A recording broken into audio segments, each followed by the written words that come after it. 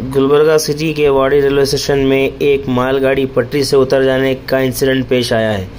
बताया जा रहा है कि चितापुर तालुके के वाड़ी में कल रात 10 बजे के वक्त सिकंदराबाद से आ रही मालगाड़ी, जिसके पाँच डब्बे पटरी से नीचे उतर गए हैं। कोई भी जानी नुकसान तो नहीं हुआ है, बट पुरानी पटरी रहने की वजह से ये हादसा पेश आया है। रेलवे ऑफिशल्स का ऐसा कहना है। एक बड़ी क्रेन मंगा के पाँच मालगाड़ी के डब्बों को सीधा किया गया है। और रेलवे डिपार्टमेंट और ऑफिशियल्स मुकाम पर पहुंचकर मुआयना कर रहे हैं। आइए देखते हैं रेलवे डिपार्टमेंट की एक न्यूज़।